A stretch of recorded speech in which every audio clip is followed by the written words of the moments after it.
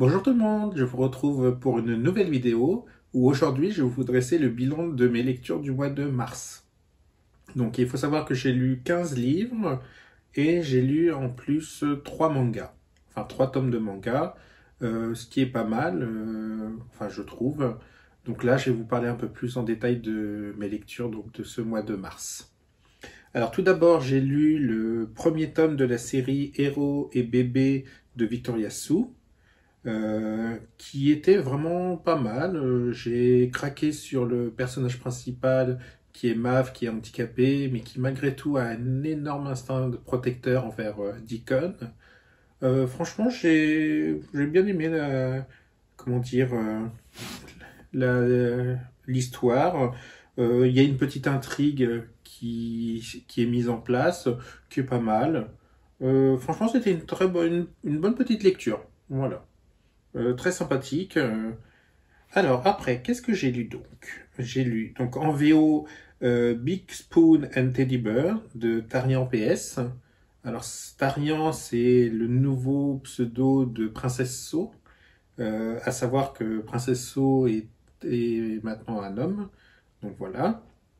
Alors c'était une lecture, on va dire passable c'est pas pas un coup de cœur. Euh, euh, là, on, on, se situe dans une salle de gym et on a un, des héros qui est roux et poilu, qui va craquer sur un autre euh, personnage de la salle de gym. Mais en fait, l'histoire est pas très bien détaillée. Enfin, c'est relativement court. Au niveau des sentiments, c'est pas très bien exploité. Enfin, personnellement, j'ai pas Enfin, voilà, ça, s'est lu, mais euh, bah, comme vous voyez, j'en ai pas un souvenir impérissable. Hein. Franchement, voilà, je m'attendais à mieux. Voilà. Alors après, j'ai lu euh, en français, même si le titre est en, anglais, chose dont j'ai parlé déjà dans une précédente vidéo où je ne comprends pas vraiment pourquoi des auteurs français mettent des titres anglais, alors que ce n'est pas euh, nécessaire, mais bon. Le titre est donc My Torrid Stepbrother, de Quentin Jarnot. Alors, euh, je ne connaissais pas la plume de cet auteur, euh, j'ai lu l'histoire, euh, bon, parce que c'était une découverte pour moi. alors, la plume est assez prenante, parce que sans, vraiment faire attention, j'ai quand même dévoré les pages. par, il y a une tension aussi dans dans le lecteur qui maintient, qu'il maintient dans une attente euh, vis-à-vis de certaines choses. Euh, on espère en fait que tout va s'arranger pour que euh, notre petit cœur bah, meurtrice soit content. Mais voilà. Mis à part ça, il y a quand même des choses qui m'ont gêné, parce que j'ai trouvé que les sentiments n'étaient pas très aboutis, que l'auteur laissait volontairement des choses en attente, euh, enfin, pour moi, c'est... il n'a pas été au fond des choses. Voilà. Alors bon, apparemment, beaucoup de monde ont aimé la lecture. Euh, je dis pas que j'ai pas aimé ma lecture, euh, juste que j'aurais aimé que ça soit un peu plus approfondi. Voilà. Parce que voilà, on n'a pas on n'a pas vraiment de, choses qui font qu'il y a un coup de cœur. Voilà. Donc euh, bon, une, découverte euh, qui était euh, qui était pas mal, mais sans être exceptionnelle. Alors après, j'ai lu En direction du Nord de Karadi, donc le premier tome de la série Le Nord. bon, c'était une lecture très sympathique. comment dire Là, on va suivre euh, Queen et Declan. Alors, euh, Declan a disparu de la vie de Queen euh, du jour au lendemain. Alors, Queen, malheureusement, ne s'arrête pas à ça, puisque ils étaient très proches et il comprend pas pourquoi il a disparu. Donc, il va, il va l'avoir retrouvé en Alaska. Et donc, de là, il y a quelque chose, il y a, comment dire, de nouveau une relation qui se noue. Euh, au fur et à mesure qui devient de plus en plus importante. Euh, bon, c'était sympa. Euh, les sentiments étaient pas mal, mais pas super approfondi, puisqu'en fait, ce tome est quand même relativement court. Et donc, j'ai peur que l'auteur n'ait pas voulu développer, et ça, ça manque un peu. Franchement, ça manque un peu, mais bon. La lecture, comme, toutes les, comme tous les livres de Caradi, était très sympathique. Voilà. Alors, j'attends beaucoup plus du tome 2, puisque là, les personnages ont l'air d'être un peu plus torturés. Donc euh, voilà, une, lecture sympathique. Alors, qu'est-ce que j'ai lu d'autre après? Alors là, j'ai lu un, un arc VO, euh, Disrupt de Michel Frost. C'est le premier tome de la série Iron Heretics MC. MC Oui, MC. Bon, bah, une lecture sympathique aussi. Euh, D'ailleurs, beaucoup de mes lectures sont sympathiques, je me rends compte. Mais bon, ça doit être que je les choisis bien. euh, on va dire que là, on se retrouve dans un club, euh, enfin, avec des motards. Euh, il y aura une, intrigue avec de, de l'attention, etc. Euh, franchement, euh, j'ai j'ai trouvé ça relativement bien tourné, mais par rapport au fait que on est avec un club de motards, euh, normalement il aurait dû y avoir plus de tension dramatique, plus. Euh, il y a eu de l'action, mais il n'y en a pas eu assez à mon goût. Voilà. Euh, par contre, les, les, scènes entre les deux protagonistes, entre Pax et Mace, sont vraiment pas mal. Euh, et euh, bon, l'auteur nous prévient dès le départ que ça sera un HEA, euh, donc on n'est pas déçu. Et puis il n'y a pas de cliffhanger à la fin. Voilà. Donc c'est une lecture qui permet de se vider la tête. Et puis voilà. Alors, ensuite, ah bah j'ai ma période manga. Donc j'en ai lu trois d'affilée. Donc j'ai lu le premier tome de Soft Metal Vampire. Euh, ben, Soft Metal Vampire, euh, c'est avec des vampires, on se situe dans le futur. Euh, sauf que là, les vampires, ils ont des particularités, c'est qu'ils arrivent à manipuler les éléments, les éléments euh, chimiques. Donc as des vampires, il y a des vampires qui qui manipulent le carbone, d'autres qui manipulent l'hydrogène, euh, etc. Euh, bon, la base est pas mal. Euh, par contre, le premier tome est... manque de peps. ou manque de développement pour donner encore plus envie d'avoir l'intrigue. Donc, j'ai lu le premier tome, j'ai aimé le côté innovant avec les vampires qui manipulent les éléments chimiques. par contre, au niveau de l'histoire, j'ai pas trouvé ça gêne.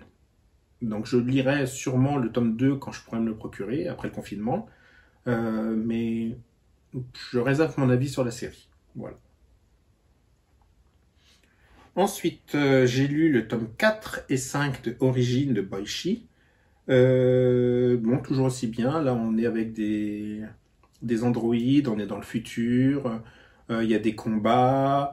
le trait de dessin est pas mal. Les combats sont vraiment bien faits il y a toujours cette petite notion de on réfléchit entre enfin les androïdes vis-à-vis de l'humanité etc euh, c'était euh, enfin j'ai bien aimé ma lecture et même d'ailleurs euh, bah, je voudrais lire la suite donc parce que là il me manque bah, les j'avais que jusqu'au tome 5 donc voilà encore un truc à noter pour après le confinement À moins que je ne craque pour me le faire livrer, mais bon, je préfère pas trop. Ou il faudra que je regarde. Euh, il me semble que ça existe en numérique. Donc faut que je vais peut-être me les prendre en numérique. Euh, si j'arrive pas à tenir. Voilà. Au lieu d'aller à la librairie, mais bon. Alors, euh, ensuite, on est reparti sur une lecture VO, un arc.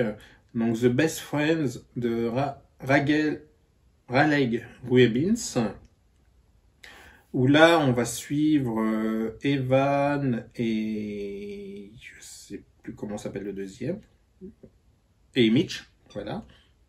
Euh, j'ai beaucoup aimé la dualité qu'il y avait entre ces deux personnages que tout oppose. C'est une belle histoire d'amour entre un entre un meilleur ami et enfin entre deux meilleurs amis. les personnages secondaires sont pas mal non plus. Il y a une petite touche de drama, donc franchement, c'était une lecture très sympathique au même niveau que Disrupt de Michel Frost, je dirais. Et après, euh, je suis reparti en VO. Donc là, c'est un roman à paraître chez Juno Publishing qui est euh, Jusqu'au bout du monde, je crois, le titre euh, français, parce que là, je l'ai en anglais. alors, j'ai vraiment bien, bien aimé, puisqu'en fait, dès qu'on aborde un roman de Garrett Legg, euh, on s'attend à une très belle lecture et là ça n'a pas manqué, c'était une très belle lecture. C'est Au bout du monde le titre, voilà. Euh, c'est l'histoire de, deux hommes, un qui ne sait plus qui il est et un autre qui ne sait pas qui il est. Et ils vont évoluer l'un, va graviter l'un autour de l'autre. et puis il y a une, une, relation qui va se nouer. Donc là en fait on a Oli qui est le caméraman pour un reportage, euh, euh, comment dire, pour les origines de Shay. Shay est un fait partie d'un groupe et le groupe est en tournée. Et en fait, le reportage va se, euh, tourner durant la tournée et au fur et à mesure, chacun va en apprendre un peu plus sur l'autre et sur lui-même. Et franchement, c'était euh, en même temps que c'est un petit peu un road trip, puisque bon, comme ils sont en tournée, ça bouge, etc. et tout. Et euh, j'ai bien aimé. C'était euh, c'était franchement bien bien écrit. Les personnages étaient très bien étudiés. j'ai été enchanté de ma lecture. Voilà. Donc je la recommande. Hein. Alors, qu'est-ce que j'ai lu d'autre après? C'est euh, Give Me a End euh, de Gwen, Martin, donc c'était un arc en VO. Euh, le premier tome de la série Beyond Desire. Alors là, on a une. Comment dire On a une histoire de Friends to Lover, donc dans le genre nu adulte. les personnages sont assez jeunes. Alors par contre, les, les sentiments sont vraiment pas poussés, poussés. Euh, on va en fait, euh, on n'aura que le point de vue d'un des personnages, Cam, et en fait ça commence par Cam qui surprend euh, son colocataire, Jude, en train de se faire du bien. Et là, de là, il y a des, idées qui vont lui, comment dire, lui parcourir le cerveau, et ils vont, ils vont craquer l'un sur l'autre, et de là, il y a une relation. Donc, le livre se lit avec énormément de facilité, puisque bon, c'est pas, euh, c'est pas non plus de la très grande littérature. La plume de l'auteur est assez fluide, mais comme il s'agit d'un, enfin, c'est un premier roman pour moi. Euh, enfin, il me semble pas qu'elle en ait écrit d'autres. Euh, et d'un premier tome en plus, c'est vraiment pas poussé à fond, quoi. C'est survolé, voilà. Voilà, c'est, je garderai ce terme-là, c'est survolé au niveau de l'histoire. Donc j'aurais aimé en avoir beaucoup plus. Donc c'est pas, pas une grande réussite. Voilà. Et après, alors j'ai lu en, en avant-première Le mystère du mangeur d'âme de Thomas Andrew et Sébastien Bernadotte. Alors là, on se situe dans un steampunk. Euh, j'ai vraiment énormément aimé ma lecture. Euh, il y a une belle intrigue, euh, du suspense, de l'action, et on a aussi des doses d'humour. Qui permettent de faire en sorte que l'intrigue soit pas non plus trop pesante. Et je recommanderais cette lecture sans problème. J'avais déjà entendu, comment dire, dès qu'ils avaient annoncé qu'ils écrivaient un quatre mains, et eh ben je n'avais qu'une hâte, c'était de lire ce roman. Et je dois vous avouer que j'ai vraiment pas été déçu. Voilà. C'est bah, comme je viens de vous le dire une très belle histoire, euh, et puis du steampunk à la française. Euh, franchement, voilà. Euh, on aura, comment dire, on aura deux personnages. On a Louise et Paul. Alors Paul est, gay et Louise est euh, hétéro. Euh, et euh, les, deux personnages font équipe pour, des enquêtes. Et franchement, ça fonctionne très bien l'un avec l'autre. Ils sont complémentaires. Parce que autant l'un l'un des personnages est extraverti que l'autre, autant l'autre est moins extraverti. Donc en fait, franchement, ça se complète bien. Euh, on sent que euh, l'écriture euh, de nos deux auteurs a été complémentaire et une vraie réussite. J'ai bien aimé aussi la couverture qui est très sympathique et je lirai avec grand plaisir la suite de leurs aventures. Parce que comme c'est une série, c'est le premier tome des Mystères Fantastiques de Paris. Voilà. Donc je vous recommande. Euh, à mon avis, vous allez aimer. Alors, après, j'ai lu Comment sauver une vie de Emma Scott, qui est aussi à paraître ce mois-ci. Euh, alors là, c'était un coup de cœur, tout comme tous les Emma Scott euh, que je lis. Euh, là, en fait, il s'agit d'une romance contemporaine, même si on a une légère dose de paranormal, puisque euh, Evan a un don qui fait euh, et ce don va influencer tous ses choix dans le livre. on va suivre en fait Joe et Evan. Alors Joe est un personnage qui est torturé parce qu'elle était abusée quand elle était enfant, à tel point qu'elle s'est mutilé le visage pour euh, éviter que les abus continuent. Malheureusement, ça aura eu des répercussions puisque sa mère n'aura pas supporté et se sera suicidée. Euh, et euh, depuis, elle vit avec son cousin qui, a, qui prend, qui l'a prise à charge puisque dans sa famille, malheureusement, personne ne voulait. Et son cousin est routier, donc ils n'arrêtent pas de déménager jusqu'au jour où ils arrivent dans la petite, la petite ville de Evan, alors lui, Evan, est un enfant adopté. Euh, malheureusement, euh, on va pas dire que ça sointe l'amour dans sa famille. Voilà. Et il ne rêve que d'une chose, s'échapper. Et après, il y aura donc une, il y a une histoire qui va se nouer entre les deux. On va avoir une première partie où c'est quand ils sont euh, au lycée. Après, pour euh, une raison que je ne révélerai pas, ils vont se retrouver séparés pendant quelques années, jusqu'au moment où Evan va pressentir que Joe a besoin de lui. Et voilà. Et il va réapparaître. Et donc euh, là, il va y avoir comment dire, une échappée euh, pour échapper à la police, etc. Et franchement, chaque mot est bien choisi on a euh, des beaux sentiments, une... Euh, comment dire?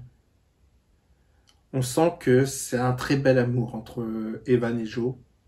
Euh, Joe se sera perdu un moment par rapport à elle-même, mais Evan va faire en sorte qu'elle se retrouve. Car lui, quand il aime, c'est sans condition. Et c'est ça qui est super beau dans ce roman. J'ai aimé vraiment chaque phrase, chaque mot, du début à la fin. Euh, j'ai même aucune remarque négative. Donc, euh, comme quoi, c'est vraiment un coup de cœur, euh, de coup de cœur. Voilà. Et qu'est-ce que j'ai lu d'autre? J'ai lu Cher Oncle Sam de Blandine P. Martin. Alors là, on, par rapport à la dernière sortie que j'avais lue d'elle, qui était un bitlit, Là, on change, on est parti dans une romance contemporaine, euh, avec la petite touche typique de l'auteur qui fait que, euh, au fur et à mesure, on a euh, l'action qui s'accélère, on a des beaux sentiments,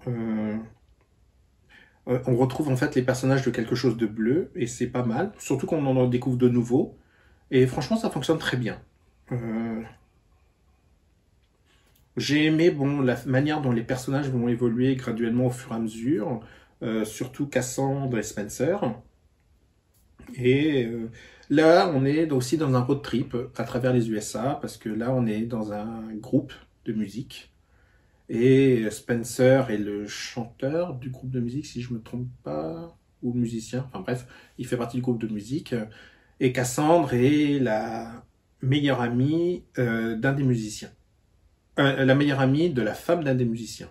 Et donc il va y avoir un road trip avec des rebondissements, et franchement, c'était très sympathique, comme toute lecture de Blandine et Martin. Euh, j'ai apprécié du début à la fin. J'ai passé un excellent moment. Voilà. Alors, après, je suis reparti dans l'Urban Fantasy avec Ornella de Julie Doge, le premier tome de Nefasta. Et euh, je connaissais déjà Julie avec son excellente série euh, historique Les Macintosh. Et j'ai vraiment voulu, enfin j'avais vraiment envie de lire, euh, de la lire dans un nouveau thème, et euh, j'ai pas été déçu.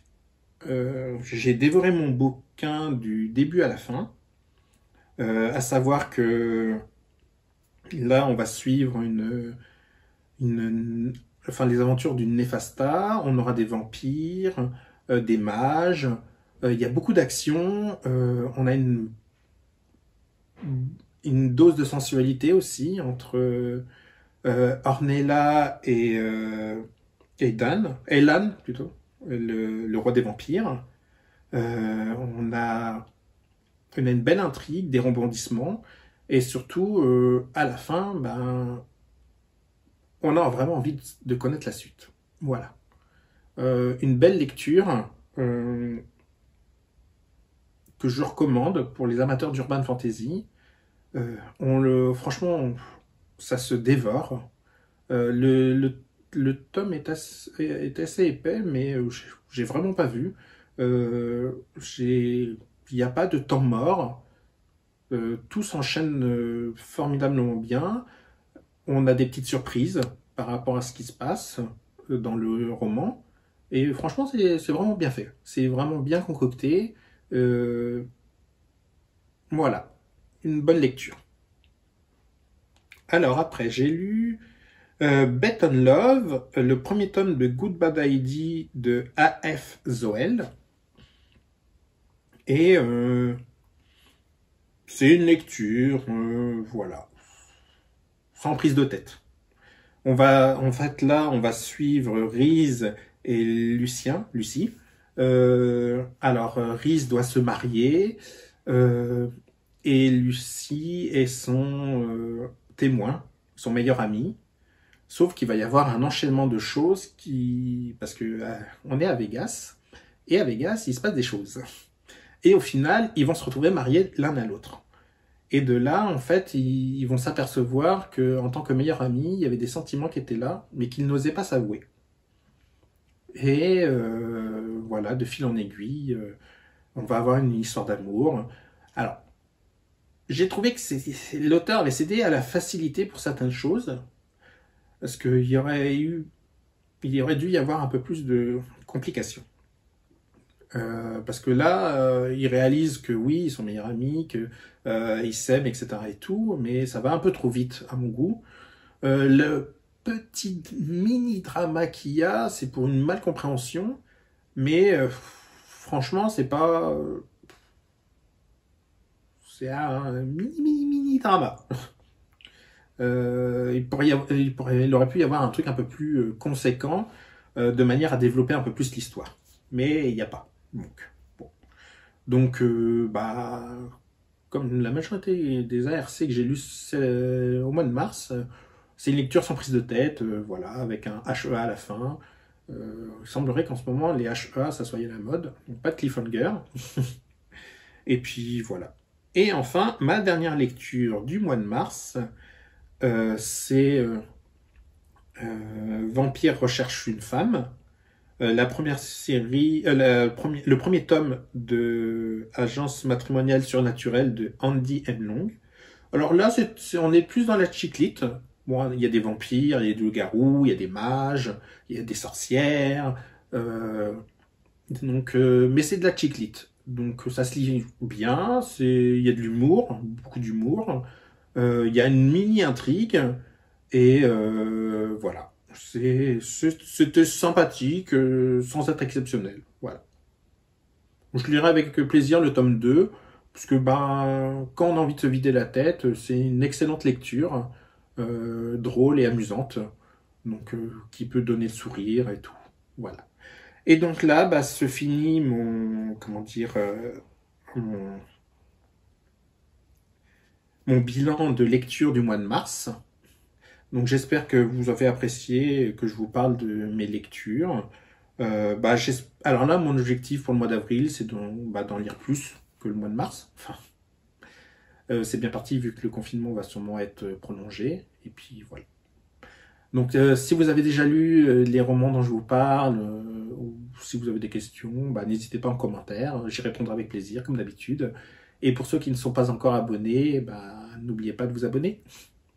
Sur ce, je vous souhaite une bonne journée et je vous dis à bientôt.